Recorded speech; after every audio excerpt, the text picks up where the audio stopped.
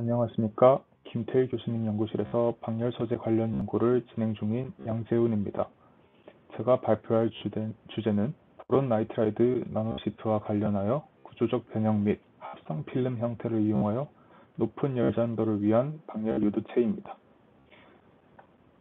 이와 관련하여 첫 번째 열전도를 위한 소재 고안입니다.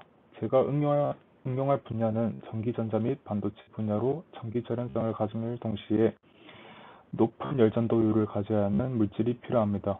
이에 대해 구리, 알루미늄과 같은 metal은 높은 전기전도성을 지님과 동시에 경량화의 어려움을 가지는 단점이 있습니다. 또한 카본의 경우 가볍고 기계적 물성이 뛰어나지만 전기 전도성 또한 높기에 절연성 복합 재료로 사용이 힘듭니다. 이러한 단점들을 극복하기 위해 알루미늄 nitride, boron nitride와 같은 전기 절연성이 높으며 가볍고 열전도율도 높은 세라믹 소재를 사용합니다.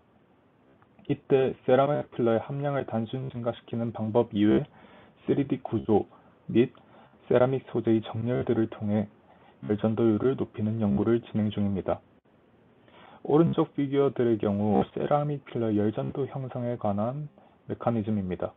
고분자 매트릭스 내에서 세라믹 filler가 열전도 경로를 형성하기 위해서는 단순한 분산의 방법 사용의 경우 오른쪽 위의 사진, 아, 비교와 같이 열전도 경로 형성이 힘들기 때문에 물질 간의 연결이 중요합니다.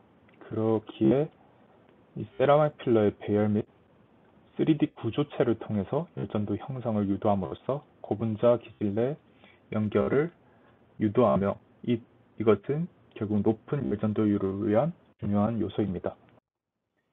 다음 페이지에서 왼쪽 figure를 보시면 세라믹 필러인 보로나이트라이드를 어나이트로픽하게 가공 후 수평적인 열전도뿐만 아니라 수직적인 열전도 형상을 위해 피라미드의 3D 구조를 이용합니다. 이를 통해 수평의 열전도 증가 및 수직 열전도의 증가를 확인할 수 있습니다. 이러한 구조를 통해 필름의 MOSFET과, MOSFET과 같은 전자소자 혹은 PCB의 addition을 통해 기존의 전기 전도성 유지 및 열전도의 안정성을 제어할 수 있습니다. 오른쪽 figure의 경우 왼쪽의 방열을 유도하는 boron nitride의 피라미드 구조를 지닌 부분과 나머지는 단열재인 porous PDMS를 결합한 형태입니다.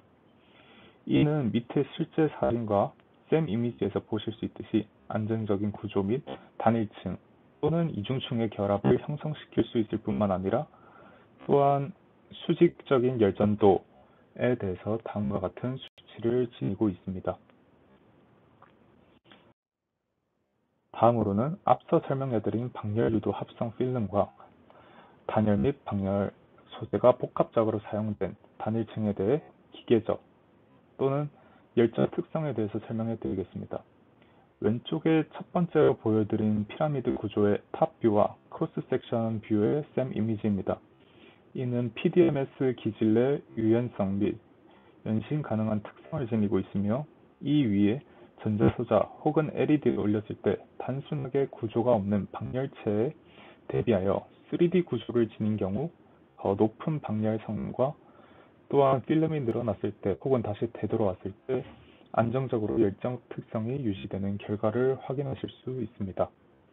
오른쪽 피규어 셋의 경우는 방열 소재를 부분적으로 사용하고 나머지 부분에는 단열 소재를 사용해 복합적인 단일 필름을 형성한 것을 보실 수 있으며 이는 기계적으로 연신 시 기존의 단일 반열 소재층에 대비해서 더 높은 기계적 안정성 또는 더 높은 연신 가능한 특성을 지니고 있습니다. 이 필름에 대해서 전자소자 혹은 LED를 접착 및 이제 어디션을 시켰을 때 다음에 아래와 같은 시간 대비 온도 변화의 방열 성능을 확인하실 수 있습니다.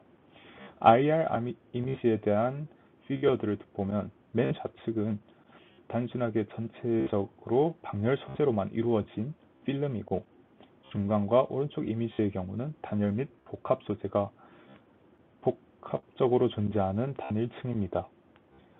맨 왼쪽인 단열 방열 소재로만 이루어진 것에 대비해서 중간과 오른쪽에 단열 복합 방열 소재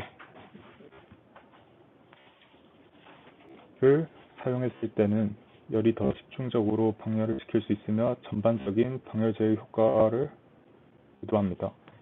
이를 통해 저는 3D 구조 및 추가적으로 기계적 물성을 향상시키며 방열 성능을 유지시킬 수 있는 연구들을 진행 중입니다. 감사합니다.